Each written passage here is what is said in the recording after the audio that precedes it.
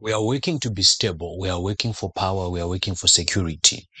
And as we are working, there are many factors and secrets that one needs to know to get to a place where their money can work for them. It is important for you to get that to that stage where you really see how you are working out your money and how your money is working out for you. It is very much important because without that, you realize that every month, every year, after every paycheck, you will get to have money in your hands, but you won't see anything tangible that you are doing with the money that is coming into your hands. And this is why we are going to have a conversation and I'm going to be speaking to you on certain things that I believe that if you can do them right, your money can work for you well. All right. So we will be talking today on, on how to make your money to work for you.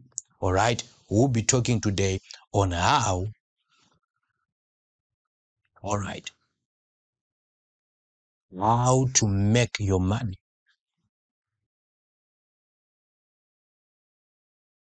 All right. Work. So you need to know how to make your money work. A lot of people you'd realize that when you look at a lot of people they they, they, they really work in very good jobs, but they haven't understood or grasped the concept of how can they make their money to work for them. And most of the times, this is the reason why you see many things seeming as if they are not working out. The first thing that you have to understand is don't spend it until you get it. Don't spend it until you get it. All right. Don't spend it until you get it. All right. Don't spend it until you get it.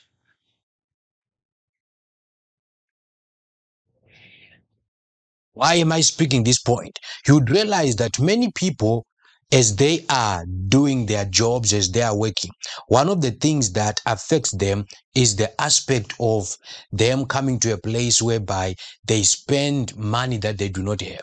Sometimes you'd realize that there are many factors that can lead people to that point where they spend monies that they do not have. And some they are in debt, some they they they they they, they have bought things they should not have bought. And we as we go along this issue you realize that this is the reason why many people are in debt. Yes you might have been promised. Yes you understand maybe that your business brings you certain amount of money per month or certain amount uh, of, of money per, per, per annum. But that does not give you the right to spend money recklessly. You cannot spend money until you get that money it is when it is in your hands that you can spend it. It's not about the life that you want to live, the life you're fantasizing. It has to be about the reality. Don't spend the money you do not have. And it, it might be that you are doing competition with somebody. It might be that there is something that you want to articulate, but never spend money that you do not have. All right. Never spend money that you do not have. Don't start buying expensive, expensive belts, looking expensive, and yet you are not expensive. Don't start looking expensive and you are not expensive yourself. The second thing is there is a principle that a lot of people are affected with because you understand that as we live, as much as we live in this, in this world we live in, tax has got to be paid. And that is what affects a lot of people. Many people's properties have been attached because they failed to pay their taxes. You have to understand there is there is a principle that I want you to understand when your money comes so that you can divide and understand how to work out with your money well. All right. You can understand how to work out with your money well. When your money comes, all right, you'd realize that you, you, you get your money as 100%. This might be your revenue, all right? This might be your revenue. And in as much as it is your revenue, you have to find a way in which you divide yourself in the vicinity of your revenue. You have to find a way that you divide yourself in the vicinity of your revenue. How do you divide yourself? The first thing that you have to understand is you have to make sure that you you have excess taxes that you have paid so that by the time when things are tough it is easier for you to get around it or not to be you know to be suffocated by the pressure that you might be going through in your business or maybe in your financial life. So this is how you are going to divide your monies all right? You are going to pay tax 40% all right? You are going to pay tax 40%. When you pay tax 40%, the next thing that you have to do, you have to look at yourself. All right. When you look at yourself, if you are doing a business, reinvest into that business, reinvest into that business 40%. Reinvest into that business 40%. And when you look at the calculations, you'd realize that there would there is a 20% amount that is left. And that 20%, that must be your life. All right. That must be your expenses. So the expenses of your life might, must be, oh, look at that, must be 20% the expenses of your life must reach and at least you must be able to deal with yourself around the budget of 20%.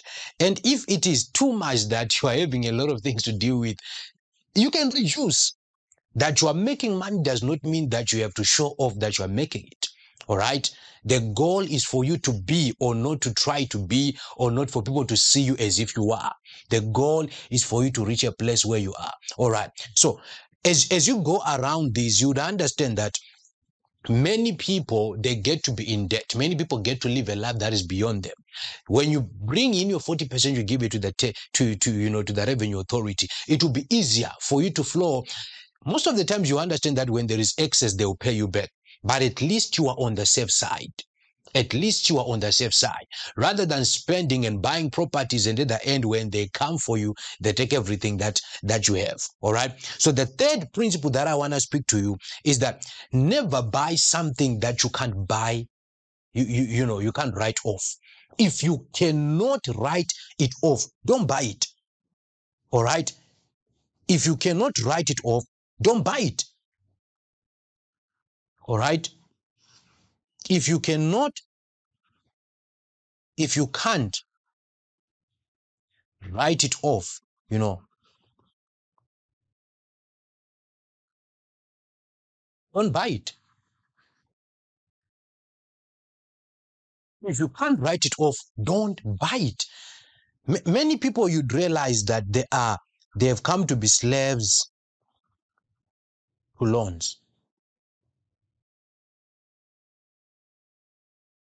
And th- their life the reason why it seems as if there is no direction to what they are doing is because they, they've put themselves in that place you know. They've put themselves in that place where by consistently getting these loans and taking these loans they they they they, they no longer even see the profit that they are making. You buy a very big house and you can't you know write it off with your whatever it might be with your salary it might be with your income that same it, it, won't give you profit because it's gonna be taken. How many people have you seen having properties that were repossessed because they bought something that they had no capacity to write off? So if you cannot come to a place where you can write it off don't buy it. Don't buy it. All right? If you cannot write it off don't buy it. Now i'm to speak maybe the last one for today. You have to understand that you know be consistent. Hmm. Be consistent. Many people are not consistent when it fa- when it comes to when it comes to, to to business all right many people are not consistent when it comes to business and to realize that this is the very reason why many people have come to a place where they, they, they, they never ran successful businesses. They were never consistent. So what begins to happen is they start a business and before they even establish the idea of the business they are doing, already they are doing other three businesses, four businesses, seven businesses. And they, it brings you to a place whereby because you are not stable, because you are not consistent, you won't see anything tangible that you are doing. You are not stable. You are not consistent. But if you can come to that place where you become consistent, you become stable, and and and and you establish one stream of income before you spread yourself too thin, you become a principality. What makes people to reference you to say, go and do business with this person is the longevity you have been in that business, how you have settled yourself in that business whereby everybody knows you. You are trusted by your consistency. People will trust you by your level of consistency and how long you would have pushed whatever you would have pushed. If you have learned, and I believe that you have learned, just take a glass of water and sip because you are about to get to a place where your money is about to work for you. All right. So let me see you in our next topic.